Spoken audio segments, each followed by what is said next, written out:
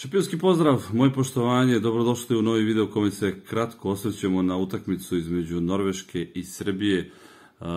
utakmica koja je završena 0-1, dakle pobjeda Norvežana u prvom kolu Lige nacija i ovdje već sad možemo da kažemo ako se prisjetimo i prethodne utakmice koju je igrala sa Skandinavcima, sa Danskom, gdje izgubila sa 3-0, dakle Skandinavija, Srbija 0-4, dakle uh, možemo već sad tu da radimo neku generalizaciju stvari jer E,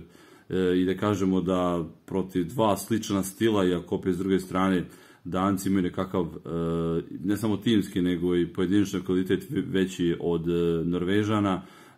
dakle jednostavno nisu baš u poziciji, kad je pitanje reprezentacije Srbije, da protiv tih te dvije reprezentacije nešto više uradi u igri, mada opet možemo da kažemo da je sigurno postoji određena razlika kada je ova utakmica u pitanju u odnosu na tu sa Dancima, ovde bar Srbija više dominirala,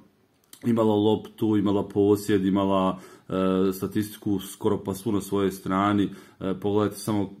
broj kornera, čini se da je bilo na kraju 12-0 ili jeli. Međutim, prosto ni to eto sve nije bilo nažalost na kraju dovoljno da iz ove utakmice odnesete pobjedu i kako stvari stoje evo sad nakon prvog kola, dakle, odnosno nema, nema kako drugačije stvari da stoje Srbija ide sa porazom u prvo, nakon prvog kola Lige nacije. Međutim, e, što je jako važno za reći ovde, da vi kada ovako vruće glave, vi kada jednostavno igrate kao tim protiv skandinavskih ekipa, koji su kao što su i Norvežani, takvi, fizički uvijek besprekorno spremni, e, teško da možete da očekujete nešto u ovoj utakmici u kojoj vas pas ne sluša baš najbolje, u kojoj vi ne probijate te linije preciznošću i ne ide ta lopta toliko britko i čisto, pa čak i tačno naravno, e, kroz te otvore, koliko god oni uski ili široki bili, dakle nije problem toliko u protivniku koliko u vama, tako da Sigurno da to jeste negdje e, stvar koja je večeras bila problematična za reprezentaciju Srbije i onda jednostavno utakmica u kojoj e, se sve više kako ona odmiče oslanjate na pojedince i onda e, prijeti sama utakmica da pod utiskom te neke, kako bih je nazvao, anksioznosti u, u toku same igre prijeti da postane one man show i da se osjećate na, dakle, na, da se oslanjate na pojedinačni kvalitet, kao što je to bio slučaj, na primjer, večeras, prvenstveno, ajde kažemo, Tadića, videli ste posle u drugom povremenu kada je ušao ovaj, Radović koji je nedovoljno spreman, e, najviše lopti išlo negde na njega. E, opet još tu da dodam da kada igrate protiv jedne skandinavske ekipe, prosto ne možete sebe dozvoliti da u zadnjih 15-20 minuta vi idete sa e, centar šutovima, sa tim visokim loptama e, u 16-terac, u peterac, gdje oni fenomenalno dobro skaču, imate osjećaj gdje god lopta padne, oni su tu. E, međutim, isto tako, ajde, nećemo nešto puno pričati o njima, ali treba reći svakako da imaju fenomenalnog trenera, ko se sjeća e, da je on e, njihov trener Solbakken dakle vodio e,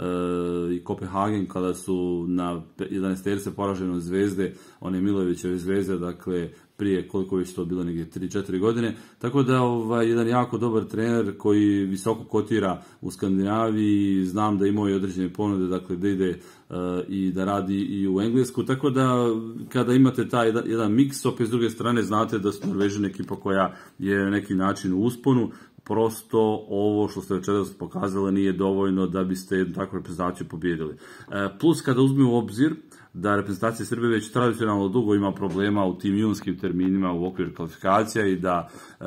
ne da ne u tim, u tim u junskim utakmicama, u junskim prozorima terminima ne da ne dolazi do pobjeda, nego jako teško postiže golove. Dakle, to je već jedan pomalo fenomen koji je, sjećam se nekada prije, se jako često pričalo još u doba e, kada je selektor bio Miroslav, Miroslav Antić, tako da E, pardon, Radomir Antić, tako da e, vidite da to i dalje se nastavlja i dalje se ovaj, ponavlja, tako da ono što je meni jako zanimljivo jeste sad da vidimo kako će momci da reaguju posle ovoga, pa i sve kako će da reaguje Pixi, Znamo da on na neki način kada je došao u reprezentaciju, znamo kako je se to odjednom negdje procvjetalo, međutim isto kao što je, da ću se da kažem, i Manchester United i na nesličan način procvjetala kada je došao Ole Gunnar Solskjaer kao vatrogasac, međutim taj vatrogasac kasnije nije pokazao ništa nešto toliko kvalitetno kada kola krenu nezbrdo, kako da ih zaustavite, kako da to ovaj, usmjeriti u jednom pozitivnom pravcu, određenom kreativnošću i slično. slično. Dakle, e, Pixi je sličan način došao u reprezentaciju, e, imao tu neku vatrogasnu ulogu, prilično je reprezentacija fino živnula i krenula naprijed, međutim sad u ovim situacijama, nakon dvije utakmice koji su opet svaka utakmica kojoj, gdje vežete dva poraza za redom, sigurno da, jeste, da je treba shvatiti ozbiljno, bit će zanimljivo vidjeti kako i na koji način će momci već kroz tri dana da se vrati, da li će da se vrati, kako će to da izgleda ovaj,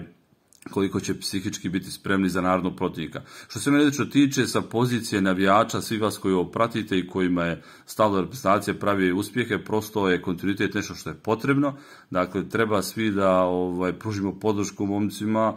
utakmica nije bilo toliko loša, bilo je šansi, izvukli su neki taj svoj zadnji atol snage koliko su mogli u ovom momentu, ja lično mislim stvarno da oni više nisu mogli.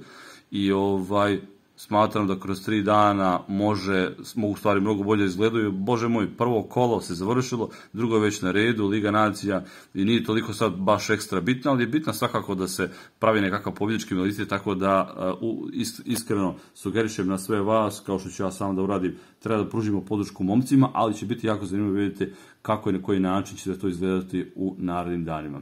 Ok, toliko u ovom videu vruće glavi. Vidimo se naravno analizi koja će ići Nadam se sutra. Uglavnom, bit ćete obavješteni. Šampionski pozdrav!